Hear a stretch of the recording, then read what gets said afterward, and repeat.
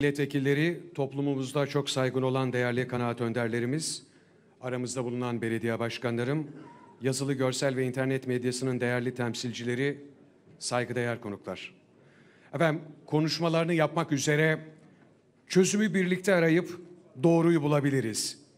Dayanışma içinde hareket edersek sorunları çözebiliriz diyen, seslerini duyuramayanların sesi, ülke birliğimizin ve beraberliğimizin teminatı, bu ülkenin işsizlerinin, bu ülkenin esnafının, bu ülkenin apartman görevlilerinin, bu ülkenin kamyon şoförlerinin, bu ülkede yaşayan halkın ve garibanların dostu.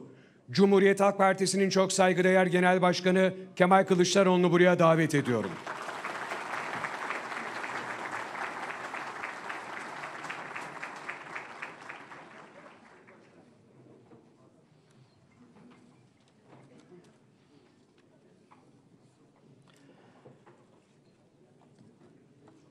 Efendim, belediye başkanımız sabahleyin birlikte olurken, karşılarken dedi ki, mutlu insanların yaşadığı kente hoş geldiniz diye. Dolayısıyla Kırklareli'nde mutlu insanların olması hepimizin ortak arzusu. Sadece Kırklareli'nde değil, bütün Türkiye'de 83 milyon hepimiz mutluysak zaten bir sorunumuz yok. Önemli olan beraber yaşamak, birlikte yaşamak. Anayasanın başlangıç bölümünde yazar. Tasada ve kıvançta beraber olmak. Tasada ve kıvançta berabersek o zaman gerçek anlamda millet oluyoruz. Gerçek anlamda millet olmanın, tasada kıvançta beraber olmanın, 83 milyonun mutlu olmasının yolları vardır. Elin oğlu mutlu oluyor da biz niye mutlu olmuyoruz? Elin oğlu rahat yaşıyor, geçiniyor da biz niye rahat yaşayıp geçinmiyoruz? Elin oğlunun çocuğu üniversiteyi bitirdiği zaman hemen iş buluyor da bizim evlatlarımız üniversiteyi bitirdiğinde neden uzun süre iş bulamıyor veya hiç iş bulamıyor? Elin oğlu üniversiteyi bitirdiğinde, eğitimini tamamladığında kendi ülkesinde çalışıp alın teri döküp kazanıyor da bizim ülkemizde neden gençlerimiz geleceği yurt dışında arıyor? Bu toplantının ana konusu bu değerli arkadaşlar. Kavga tamam bir tarafa bırakıyoruz. Ama sorunlarımız var. Millet sorunların altında ezilmiş vaziyette. Toplumun hangi kesimine giderseniz dert dinliyorsunuz. İster çiftçiye, ister işçiye, ister emekliye, ister kamyon şoförüne, ister apartman görevlisine, ister muhtara, ister devlet memuruna, ister sanayiciye. Her kesim sorunu kendi penceresinden görüyor. Sanayiciye gidiyorsunuz, durum iyi diyor ama önümü göremiyorum, yatırım yapamıyorum. Dolar nereye gidecek bilmiyorum, avro nereye gidecek bilmiyorum diyor. Yatırım yapamıyorum diyor. Artı can ve mal güvenliğim yok diyor. Ya birisi gelir benim malıma, fabrikama çökerse ne yapacağım diyor. Adalet yok diyor. Esnafa gidiyorsunuz, e zaten kan alıyor esnaf. Çiftçiye gidiyorsunuz, üretmek istiyorum, kazanmak istiyorum, alın teri dökmek istiyorum ama harcadığım emeğin karşılığını almak istiyorum diyor. E Trakya'nın bereketli toprakları var. Bu bereketli topraklarda insanlar üretiyorlar. Çiftçi üretecek, kazanacak, gelir elde edecek, düğünlü derneğini yapacak, ertesi yıla hazırlanacak. Ertesi yıla hazırlanacak takat kalmazsa e ne yapacak peki bu? Bu sorunlardan Türkiye'nin arınması lazım. Bu sorunlardan arındıracak olan da siyaset kurumudur bakın. Siyasetçi dışında esnaf gelip bu sorunları çözemez. Sanayici gelip bu sorunları çözemez. Çiftçi gelip bu sorunları çözemez. Emekli gelip bu sorunları çözemez. Sorunları çözecek olan siyaset kurumudur. Siyaset kurumu sorunları nasıl çözer? Hepinizin düşünmesini isterim. Bu soru önemli bir soru. Siyaset kurumu sorunları nasıl çözer? Ondan önce şunu ifade edeyim. Siyasi partiler devlet değildir. Devlet ayrıdır. Devlet bakidir. Siyasi partiler vatandaştan yetki alıp 5 yıl süreyle gelir devleti yönetir o kadar. Devlet olmaz. Beşinci yılın sonunda tekrar gider milletin hakemliğine başvurur. Millet oy verirse tekrar gelir yönetir. Ama devlet olmaz. Devlet adaletle yönetilir. Devlet liyakatle yönetilir. Adaletin ve liyakatin olmadığı bir yerde devlet dediğiniz kurum yara alır. Temelleri sarsılır. Çok tipik ve çok basit bir örnek vereceğim. Hafızanızda kalsın diye. Devletle siyasi siyaset ya da siyasi partiler arasındaki farkı bilmeniz açısından. Devlette en alt makam. Devlet memuru olmak istiyorsunuz. Şube müdürü en alt makam. Ya da şef olacaksınız. En alt makam. Önce KPSS sınavına gireceksiniz. Sınavda başarılı olacaksınız. Atamanız yapılacak. Düz memur oluyorsunuz. Ama daha henüz asaletiniz onaylanmamış. Bir süre asaletiniz onaylanacak. Aradan bir süre geçecek. İyi teskiyeler alacaksınız. Sonra şeflik sınavına gireceksiniz ve devlette en alt kademede şef olacaksınız. Peki bakan olmak için ya da milletvekili olmak için iki şeye ihtiyaç var. Bir, savcılıktan iyi hal kağıdı. iki ilkokul diploması o kadar. Bakan da olabilirsiniz, milletvekili olursunuz, her şey olursunuz. Ama devlette liyakat neden önemli? İşte bunun için önemli. Devletin hafızasını bürokrasi tutar. Siyasi partilerde devletin hafızası olmaz. Dünyanın bütün ülkelerinde böyledir. Adaletle yönetilen bütün ülkelerde böyledir. O zaman şuna geliyoruz. Siyasi partiler devleti adaletle nasıl yönetirler? Öyle adaletle yöneteceğiz. Devletin dini adalettir diyoruz. O zaman adalet dediğiniz kavram nedir? Adalet dediğiniz kavramı nereden tutuyorsanız orada adaleti mutlaka bulursunuz. Sorguladığınız zaman bulursunuz orada. Çiftçi için adalet nedir? Döktüğüm alın terinin karşılığını alıyor muyum, almıyor muyum? Bir haksızlığa uğradığım zaman mahkemeye başvurduğumda adalet sağlanıyor mu, sağlanmıyor? Benim hakkım bana teslim ediliyor mu, edilmiyor mu? Benden daha güçlü bir olan birisiyle ister siyaseten ister ekonomik olsun benden daha güçlü olan birisiyle çatıştığımda ben haklıysam adalet mekanizması güçlünün yanında değil de haklı olanın yanında yer alıyorsa orada adalet var demektir. Olayın kuralı budur. Kural budur. Örnek vereceğim size. Örnek. Günümüzün örneği. İki yerde polis arama yapar. Kocaeli Dilovası'nda ve Mersin Limanı'nda. Kilolarca kokain bulunur. Kilolarca.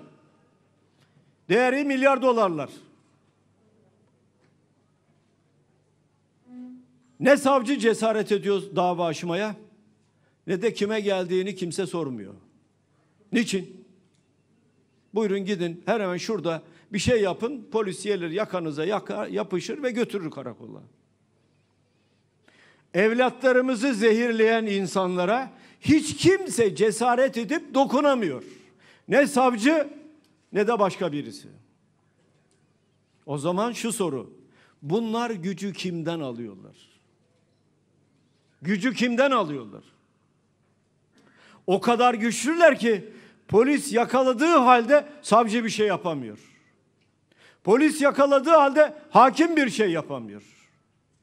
Dava dahi açamıyorlar. Cesaret edemiyorlar. O zaman bu gücü nereden alıyorlar?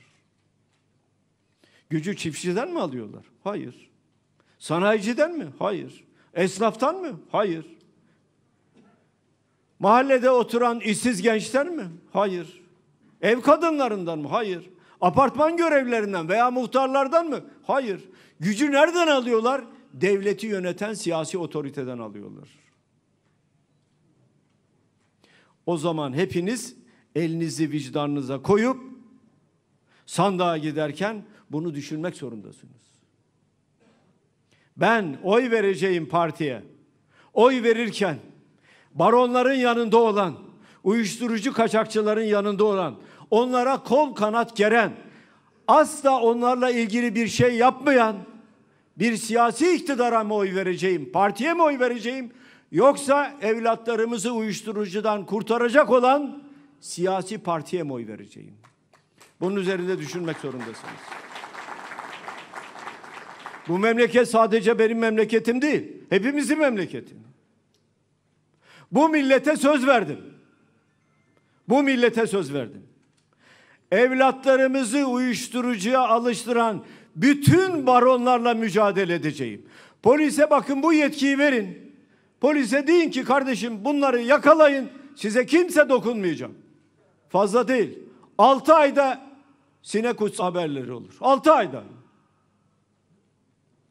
Eğer sadece bizim değil Orta Doğu'nun en büyük baronunu hapishaneden çıkarıyorsanız Zindaşti'yi Zindaşti'yi e, ifade etmek istiyorum. Hapishaneden çıkarıyorsanız serbest bırakıyorsanız adam kayıplara karıştıktan sonra usulen bir tutuklama kararı çıkarıyorsanız e adam gitti. Adam gitti. Kim çıkardı? Çiftçi mi çıkardı? Emekli mi çıkardı? Kim çıkardı? Bu adamın gücü neyle ölçülür? Parayla. Parayı verdin mi her şey oluyor. Parayı alan kim? Kimse kusura bakmasın ama devleti yönetenler. Devleti yönetenler. O para olmasa bu işler olmaz. Başka bir örnek vereyim. Belki diyeceksiniz ki ya bu kadar da olur mu? Olur efendim olur. Bir ülkenin İçişleri Bakanı televizyona çıkar. İçişleri Bakanı. Hani Tarım Bakanı olsa deriz ki bilmiyor. Hadi bir muhalefet partisinden birisi olsa deriz bilmiyor. Sanayici, çiftçi, muhtar olsa deriz bilmiyor. İçişleri Bakanı çıkıp da televizyona bir siyasetçiye her ay 10 bin dolar rüşvet veriliyor dendiği zaman kimin hemen harekete geçmesi lazım? Devleti yönetenlerin. Bir dakika diyecekler ya. Siyaseti kirlilikten arındırmamız lazım. Ne demek ya? Bir siyasetçi her ay 10 bin dolar rüşvet alacak. Bunu İçişleri Bakanı çıkacak. Devletin televizyonda anlatacak. Kimsenin de gıkı çıkmayacak. Şu memleketin geldiği hale bakın. Şu memleketin geldiği hale bakın. Şu siyaset kurumunun geldiği hale bakın. Parayı verenin düdüğünü çaldığı bir devlet olmaz. Devlet dediğiniz kurum ciddidir. Ne dedik? Devletin dini adalettir. Adaletle yönetilir. Birisine haksız olarak sağladığınız imkanlar başka birisinin elindeki imkanı ona tahsis etmek demektir. Uyuşturucu bataklığın içine sokulmak istenen bir gençliğimiz var. İstanbul'a gidin fakir mahallelerde var. Yazık günah değil mi bu çocuklara? Ve bunlar milyar dolarlar kazanırlar ve bunlar beş kuruş da vergi ödemezler. Ama hepiniz vergi ödersiniz.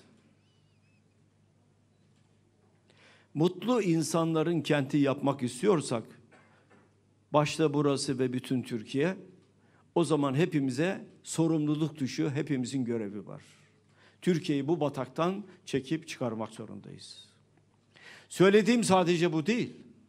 Okullar açıldı. Değerli arkadaşlarım, okullar açıldı. Gayet güzel. Bakın size okullarla ilgili bazı rakamlar vereyim değerli arkadaşlarım. Gerçekten içim acıyarak söylüyorum e, bütün bunları. Hala birleştirilmiş sınıflar var Türkiye'de. 21. yüzyılda. Yani birinci, ikinci ve üçüncü sınıf çocukların aynı odada aynı öğretmenden ders gördüğü sınıflar, sınıflarımız var. Hala ders derslik ihtiyacımız var. Üniversiteler açıldı, yurt sorunumuz var. Üniversiteyi kazanıyor evladımız, kızımız, oğlumuz. Hepimizde bir sevinç. Mahallede sevinç. Herkes seviniyor. Annesi, babası, yakınları, akrabaları, çocuğumuz, evladımız üniversiteyi kazandı diye. E, üniversiteye göndereceğiz. İkinci bir sefer dert başlıyor. Bu çocuk nerede kalacak? 20 yıldır yurt sorunu çözemedi. 20 yıl. Kırklar elinden bütün Türkiye'ye sesleniyorum. 20 yıl değil. Bir yıl içinde yurt sorununu çözmezsem siyaseti bırakacağım. Bir yıl, bir yıl içinde. Böyle bir şey olamaz değerli arkadaşlar ya. Yurt sorunu dediğiniz nedir Allah aşkına ya? Nedir dediğiniz yani? Bütün üniversitenin kampüslerinde yaparsınız. İkişer, üçer kişilik odalar, sıcak su, soğuk su, geniş bant internet erişimi, evlatlarımız orada kalacak. Onlar Türkiye'nin geleceği. Onlar ne kadar iyi yetişirse, ne kadar iyi eğitim alırlarsa Türkiye o kadar büyüyecek. Ama siz bunları pahalı yerlere mahkum ediyorsunuz. Ev kiraları aldı başını gidiyor. Kimin derdi bu? Vatandaşın derdi. Sarayda oturanların böyle bir derdi var mı? Asla yok. Bir yerden değil beş yerden maaş alanların böyle bir derdi var mı? Onların da böyle bir derdi yok. Şu Türkiye'nin geldiği hale bakın. Bize beş büyük sorun bıraktılar. Beş büyük sorun bıraktılar bize. Eğitim başlı başına bir sorun alanı. Ya iki milyon çocuk internete ulaşamıyor. 1 milyon 600 bin evladımız EBA'ya ulaşamadı. Ben 21. yüzyıldan söz ediyorum. Sizin 1 milyon 600 bin çocuğunuz eğer EBA'ya ulaşamıyorsa bu çocuğa hangi eğitimi veriyorsunuz? K12 dediğimiz 12 yıllık süre 40 bin çocuğumuz okula gidiyor, ders alıyor. 40 bin çocuğumuz okuma yazma bilmiyor. Şu eğitim sistemine bakın. Dış politika. Ya dış politikanın milli olması lazım değerli arkadaşlarım. Milli olması lazım. Dış politika milli zeminde büyür. İktidarı muhalefeti olmaz dış politikanın. Defalarca söyledik yanlış yapıyorsunuz. Bu yanlış politika, dış politika Türkiye'yi bölgesinde yalnızlaştırır, dünyada yalnızlaştırır dedik. Hayır siz bilmezseniz Türkiye şahlanıyor. Buyur bakalım nasıl şahlandı. Mısır'la kavga ettiler. Niçin? Bana bir Allah'ın kulu çıkıp desin ki biz şunun için kavga ettik. Roro seferlerini iptal etti. Şimdi yalvarıyorlar Mısır'la barışalım diye. Devlet dediğim gibi akılla, adaletle yönetilir. Bilgiyle yönetilir, birikimle yönetilir, irfanla yönetilir, erdemle yönetilir. Devlet ön yargıyla, kinle, intikam duygusuyla devlet yönetilmez. Devleti nasıl yöneteceklerini bilmiyorlar. Para yok, her şeyi sattılar. E şimdi satacak hiçbir şey kalmadı. Şimdi hayal satıyorlar. Ona başladılar. Hayal satıyorlar. Niye hayal satıyorlar söyleyeyim. Daha yeni 14 Eylül'de konuşma yapıyor beyefendi. Büyük ve güçlü Türkiye silüeti ufukta gözükmüştür. Bütün hedef silüet oldu şimdi. Ya kardeşim dün gelmedin. 3 yıl olmadı, 5 yıl olmadı, 10 yıl olmadı, 15 yıl olmadı, 20 yıldır ya. 20 yıldır şimdi sıra geldi hayale. Buradan Türkiye'yi çıkarmamız lazım. Buradan Türkiye'yi büyütmemiz lazım. Hem çıkaracağız hem büyüteceğiz. Bunun için hiç kimsenin en ufak bir endişesi olmasın. İttifakla birlikte, Millet İttifakı ile birlikte, Allah'ın izniyle ve sizlerin desteğiyle Türkiye'yi bu badireden çekip çıkaracağız. Huzurlu, güzel, gerçekten de bölgesinde şanı şerefi olan bir ülkeyi yeniden inşa edeceğiz. Bakın değerli arkadaşlarım. Ne diyorlardı? 24 saatte Emevi Camii'nde namaz kılacağız diyorlardı. 3 milyon resmi rakamlara göre 3 milyon 600 bin Suriyeli geldi. Bırakın gitmeyi. 3 milyon 600 bin Suriyeli geldi. Gayri resmi rakamlara göre 5 milyon 6 milyon. Ve Afganistan'dan insanlar Katar Katar Katar geliyorlar. İran coğrafyasını aşarak buraya geliyorlar ve bizim sınırlardan geçiyorlar e, ve bizde ikamet ediyorlar, bekliyorlar. Efendim para verilirse daha fazla alacağız. Kimden izin aldın sen arkadaş? Referandum mu yaptın? Vatandaştan mı izin aldın? Bu millete sözüm sözdür. Kesin. En geç iki yıl içinde, en geç iki yıl içinde herkesi, bütün sığınmacıları davullar, zurnayla memleketlerine göndereceğim. Kararlıyım. Irkçılık yapmadan. Çünkü onların kabahati yok. Onları buraya getirenlerin kabahati var. Onların ne kabahati var? Kapıyı açmışsın o da geliyor. Onları buraya kim getirdiyse kabahat onlarda. Dolayısıyla sığınmacılara kızmayacağız. Ama onları kendi ülkelerine can ve mal güvenliklerini sağlayarak göndereceğiz. İstihdam da yaratacağız onlara. Hiç kimsenin endişesi olmasın. Kendi topraklarımızda kendi evlatlarımıza bir iş bulalım ya.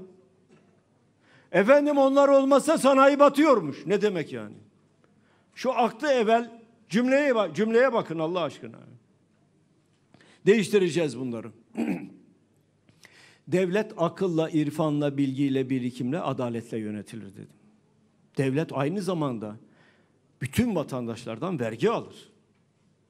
Çocuk doğduğu andan itibaren vergi öder. Emzik alırsınız vergi vardır. Altına bez alırsınız vergi vardır. Mama alırsınız vergi vardır. Su içersiniz vergi vardır. Elektrik düğmesine bastığınız anda beş çeşit vergi ödersiniz.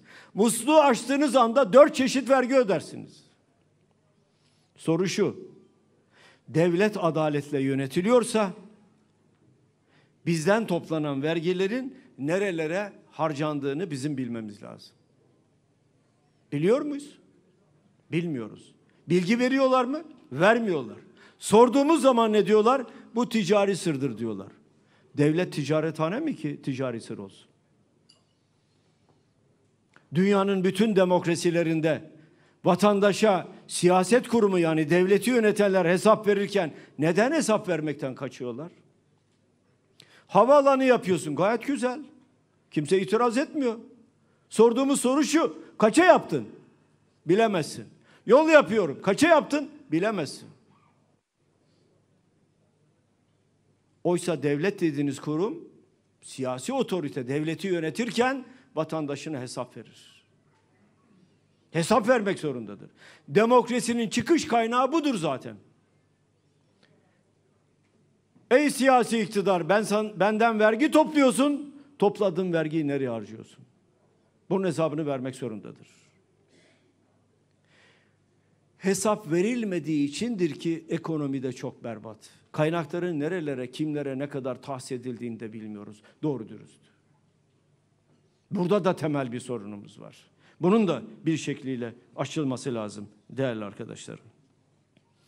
Bakın 128 milyar dolar nereye harcandı, kime verildi diye bir soru sorduk. İtiraz ettiler. Vatandaşın cebinde dediler.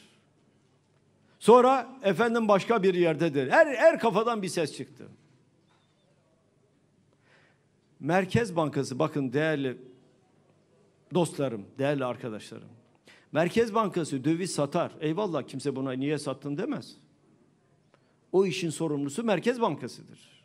Çünkü fiyat istikrarını sağlamak Merkez Bankası'nın görevidir. Kanun öyle diyor. Ben demiyorum. Merkez Bankası'nın kanunu diyor bunu. Döviz satar mı satar? Nasıl satar? Kimlere sattığını Merkez Bankası bilir. Artı bunu kendi internet sitesinde de yayınlar. Doları şuradan, avroyu şuradan sattım der. Ve biz de öğreniriz oradan. Yıllardır böyle zaten. Ama bir karar alıyorlar. Merkez Bankası'nın elinden bu yetkiyi alıyorlar. Kanunsuz. Hazine ve Maliye Bakanı'na veriyorlar. Damat alıyor 128 milyar doları satıyor. Kime sattığını kimse bilmiyor. Kimse bilmiyor. Bir Allah'ın kulu siyaset iktidarı yönetenler. Bir Allah'ın kulu çıkıp da arkadaş biz 128 milyar doları şuralara sattık, şu bedelden sattık. Demesi lazım. Demiyor. Vermiyor hesabını. 128 milyar dolar kimin parası? Sizlerin parası, hepimizin parası. Çiftçiye vermiyorsun. Buğday üreticisine vermiyorsun, ayçiçeği üreticisine vermiyorsun. Ama birilerine 128 milyar doları veriyorsun. Bakın, öyle bir noktaya geldik ki değerli dostlarım. Bir ülke vergi toplar, Toplanan vergi planlanır. Nereye önce hangi yatırımları yapalım diye planlanır. Bunu bürokratlar yaparlar. Ona göre kaynak tahsisleri yapılır ve yatırımlar yapılır. Planlama olmadan bir şey olmaz. Her devlet 5 yılını, 10 yılını, 30 yılını, 50 yılını, bazı ülkeler 100 yılını planlar. Biz ne yaptık? Eskiden bir devlet planlama teşkilatı vardı değil mi? Kapattık onu. Yok öyle bir teşkilat. Değerli arkadaşlarım, ve ekonomiyi Londra'daki bir avuç tefeciye teslim ettik. Son 19 yılda var olan iktidarın Londra'daki bir avuç tefeciye verdiği faiz 191 milyar dolar. 19 yılda sadece faiz 191 milyar dolar ödedik. Kimin sırtından? Hepimizin sırtından. Çiftçiye vermiyorsun, tefeciye veriyorsun. Emekliye vermiyorsun, tefeciye veriyorsun. Esnafa vermiyorsun, tefeciye veriyorsun. Kimlerden alıyorsun? Esnaftan, çiftçiden, emekliden, sanayiciden alıyorsun. Londra'daki tefecilere veriyorsun. Bu ekonomi politika sömürü düzenine dayalı bir politikadır. Buradan da Türkiye'nin çıkması lazım ve güçlü bir şekilde çıkması lazım. Allah'ın izniyle ve sizlerin desteğiyle iktidar olduğumuzda ilk yapacağımız şey ilk 6 ayda ilk 6 ayda memlekette bir rahat nefes alınmasını sağlamaktır. İlk 6 ayda. Esnafın bankalara borcu var. Pandemi döneminde kredi verdiler. Bunların ister bankalardan ister esnaf kefalet kooperatifinden aldıkları faizlerin tamamını sıfırlayacağız. Ana parayı da taksite bağlayacağız. Hangi faizi alıyorsun sen? Çiftçi için de aynı şey. Çiftçinin de, çiftçinin de ister tarım kredi kooperatiflerinden ister bankalardan aldıkları kredilerin faizlerini sıfırlayacağız. Onu da makul sürede taksite bağlayacağız. Ya adamı zaten perişan etmişiz.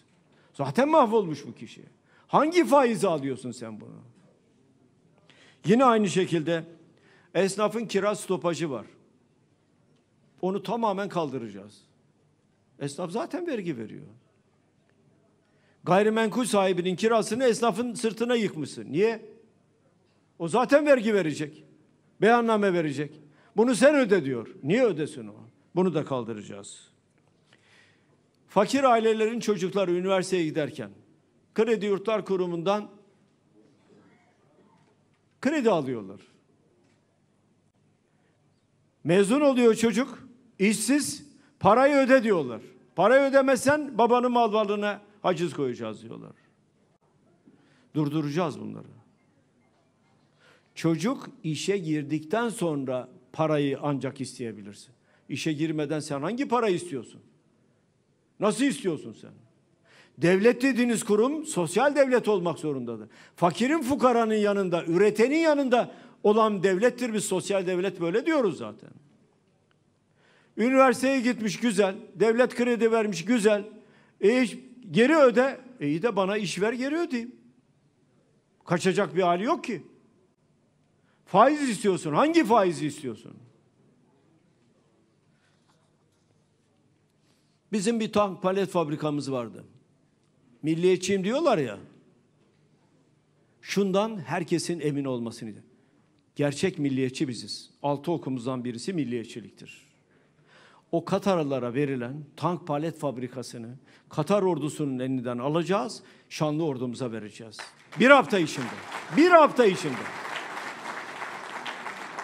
2018'de Türkiye tank üretmiş ya. Tank üretmiştik ya. Neden tank üretiyor? Şimdi Katar'a bekliyoruz. Katar bize tank üretsin. E Katar'ın böyle bir şey yok ki. Niye verdik? Yine sözüm sözdür.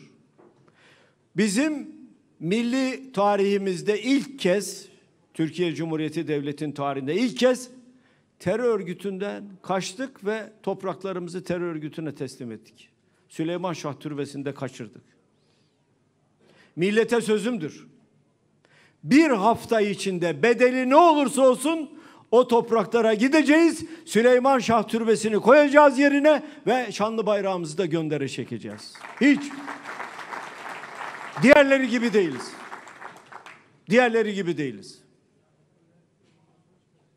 Değerli arkadaşlarım. Az önce söyledim öğrencilerin yurt sorunu biz bir, bir yıl içinde çözeceğiz. Bir yıl içinde çocuk üniversiteyi kazandığında hiçbir anne babanın gözü arkada kalmayacak. Oğlumun, kızımın yurdu var, gidecek, sıcak suyu var, soğuk suyu var, güzel internet, geniş bant internet erişimi var. Hepsi ücretsiz ama yurtta makul bir para. Eğer fakir aileler varsa zaten onlara burs, kredi zaten veriliyor. Dolayısıyla bunu sağlayacağız. 43.627 dersliğe ihtiyacımız var. Evlatlarımızın güzel sınıflarda okuması için. 43.627 dersliğe ihtiyacımız var. Hükümete çağrı yaptım. Bizim belediyelerimizin olduğu yerde bize arsa gösterin, size derslik yapacağız, bedava vereceğiz. Evlatlarımız güzel yerde okusun. Cesaret edip bize arsa vermiyorlar. Verseler yapacağız çünkü. Bizim Tekirdağ Büyükşehir Belediye Başkanımız bütün ilçelerde okul yaptı. Onların yapamadığını yapıyoruz. Ve siyaseti kirlilikten arındıracağız. İlk yapacağımız iş siyasi ahlak yasasını Türkiye Büyük Millet Meclisi'ne getirmektir. İlk yapacağımız iş. Ya rüşvet alanın mecliste ne işi var? İhale takipçisinin mecliste ne işi var? Milletvekili, milletin vekili olmak zorundadır. Uyuşturucu baronlarının, rüşvet alanların mecliste ne işi var? Onların işini kovalayan, onları destekleyenlerin mecliste ne işi var? Aynı zamanda siyasi partiler yasasını da değiştireceğiz. Gidiyorsunuz oy kullanıyorsunuz. Güzel. Milletvekilini siz mi seçiyorsunuz? Hayır. Kim seçiyor? Bizler seçiyoruz. Peki siz kime oy veriyorsunuz? Listenin altına mühür basıyorsunuz o kadar. Oysa olması gereken ne? Milletin vekilini milletin seçmesi lazım. Sizin seçmeniz lazım. Siyasi partiler kanunun değişmesi lazım. Darbe döneminde çıkan siyasi partiler yasası bugünkü tablonun ortaya çıkmasını sağlamıştır. Onu da ortadan kaldıracağız. Siyasette arınma derken sadece milletin vekili olma değil, aynı zamanda kirlilikten de arınma. Siz kalkıp da uyuşturucu baronlarının temsilciliğini yapar, onların mahkemelerdeki işini takip ederseniz o kişilerin siyasetin dışına çıkması lazım. Ahlaklı bir siyaset olması lazım. Erdemli bir siyaset olması lazım. Siyaset bir rekabet içinde olmalı ama rekabetin ahlaklı zeminde yürümesi lazım. Bunu yapacağız. Değerli arkadaşlarım, aile destekleri sigortasını getireceğiz. Hiçbir çocuk bu coğrafyada yatağa aç giremez. Aç giriyorsa yönetenlerin ayıbıdır. Türkiye Cumhuriyeti Devleti güçlü bir devlettir. Kaynakları olan bir devlettir. Yerinde ve zamanında kullanırsanız. Birilerine teslim olmazsanız. Aile destekleri sigortasını getirdiğiniz andan itibaren şu tablo ortaya çıkıyor. Yoksulluk bir kader olmaktan çıkıyor. Sosyal devlet harekete geçiyor. Fakir aile mi var? Olabilir. Sosyal devlet o ailenin banka hesabına düzenli her ay belli bir para yatırır. Onlar da giderler emekli gibi, memur gibi, işçi gibi bankadan parasını alırlar. Onun yoksulluğunu kimse bilmez ve onun onurunu korumuş oluruz. Bir insanın onuru böyle korulur. Yoksa kişi fakir, televizyonları çağır, kameraların önünde fakirlere bunları biz dağıtıyoruz. Ya onun fakirliğini sizin teşhir etmeye hakkınız var mı? Onu onurunu korumak gerekmiyor mu? Değerli arkadaşlarım, aramızda muhtar kardeşlerim de var. Onlara da bir iki şey söyleyeyim. Bir, 82 kanunda ve 354 maddede muhtar adı geçer. Siz bilmezsiniz. Ben de bilmem. Biz araştırdık da bulduk bunu. Sizin başlı başına bir muhtarlık kanununa ihtiyacınız var. Yetkileri tanımlanmış, görevleri tanımlanmış, yapacağınız işlerin tanımlandığı bir muhtarlık kanununa ihtiyacınız var. Bunu hazırladık. Muhtar örgütleriyle konuştuk.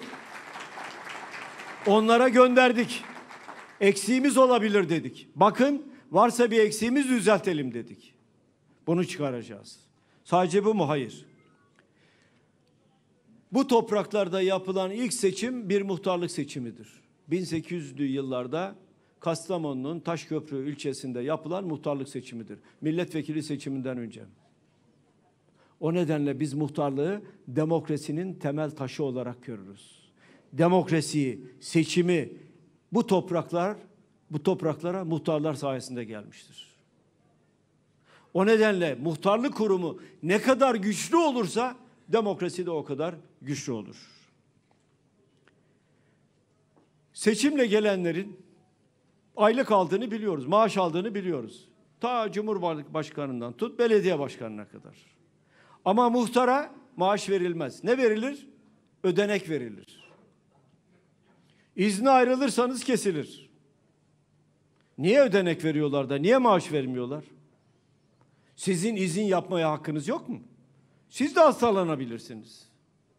Ve sizin ödeneğiniz o zaman kesiliyor. Size normal seçimle gelenler için ne yapılıyorsa muhtarlar için de aynı şeyin yapılması lazım. Yani maaş ödenmesi lazım. Tek başınıza geliyorsunuz. Bir masanız, bir sandalyeniz var. Bazı yerlerde muhtarlık evi var. Bazı yerlerde kira, bazı yerlerde küçük bir baraka, bazı yerlerde geliyor kiralık seni çıkarıyorum diyor buradan yer bulamıyor. Böyle çok olaylarla karşılaştık. Niye bir muhtarlık, mütevazi bir muhtarlık evi olmaz? Niye bir girişi olmaz? Niye muhtarın oturacağı bir makamı olmaz? Niye önünde bir bilgisayar olmaz? Ve daha da önemlisi niye muhtarın emrinde çalışacak bir görevli olmaz? Ben muhtarlara birer personel tahsis edilecektir, verilecektir dediğim zaman koro halinde kızdılar. Vay nasıl verirsin diye. Niye vermeyeyim? Dünya kadar işsiz var. Dünya kadar işsiz var. Muhtar bir yere izin alıp gittiğinde o kişi, o arkadaş orada. Veya muhtar mahalle içinde de bir yere gidebilir. Taziyeye gidebilir, düğüne gidebilir. Alışverişe gidebilir. Valiliğe gidebilir, kaymakamlığa gidebilir, doktora gidebilir. E bir kişi muhtarın orada bir kişinin oturması lazım. Herkesin var. Seçimle gelen herkesin var. Ama muhtara gelince muhtarın yok. Niye yok? Siz de seçimle geldiniz. Vereceğim. Birer yardımcı görevli vereceğim. Onlar siz seçilirsiniz veya seçilmezsiniz. Yeni gelen muhtara da onları aktaracaktır. Dosyaları tutacaktır. Bunları yapacağız. Efendim her muhtarlığın ayrı bir bütçesinin olması lazım. Seçimle gelen herkesin bütçesi var. Niye sizin bütçeniz yok? Vatandaş en rahat kime ulaşır? Muhtara ulaşır. En rahat. Dertli olduğu zaman gider önce muhtarın kapısını çalar. Diyeceksiniz ki ya Kılıçdaroğlu da amma söyledi ha ne bütçesi kim bize para verir? Oturduğunuz mahallede Vatandaşlar emlak vergisi ödüyorlar mı? Ödüyorlar. E, o mahallede emlak vergisi ödeyen vatandaşın yüzde biri muhtarlığın bütçesi olsa ne olur? Siz de o mahalledesiniz. Şunun için çok önemli. Ama bütçesi olmak demek aynı zamanda denetleniyor olması demektir. Kaynağın doğru harcanması lazım. Çocuk üniversiteyi kazandı, İstanbul'a kaydını yapacak. Yol parası bile bulamıyor babası veya annesi. Gelip muhtara diyecek ki bana yol parası, otobüs biletini alacak, götürüp getirecek. En rahat ulaşacağı kişi. O nedenle diyoruz ki sosyal yardımlar muhtarlar aracılığıyla dağıtılsın. Çünkü muhtarın politik kimliğinden çok bağımsız olarak seçilir. Bir partinin logosuyla seçilmez, armasıyla seçilmez. Ben muhtarım der, seçilir ve gelir. Bir mahallede kimin fakir olduğu, kimin zengin olduğunu en iyi bilen kişi mahallenin bakkalı ve mahallenin muhtarıdır. Dolayısıyla sosyal yardım yapılacaksa sosyal yardımların muhtarlar eliyle dağıtılması lazım. Bazen oturursunuz mahallenizde. Mahallenizle ilgili belediye meclisinde bir karar alınır, sizin haberiniz olmaz. Niye olmaz? Niye siz mahallenizle ilgili bir konu tartışılırken neden siz belediye meclisinin o toplantısına davet edilmiyorsunuz? Neden konuşmuyorsunuz? Neden söz hakkınız olmuyor? Neden düşüncelerinizi aktaramıyorsunuz? Bunun da çözülmesi lazım.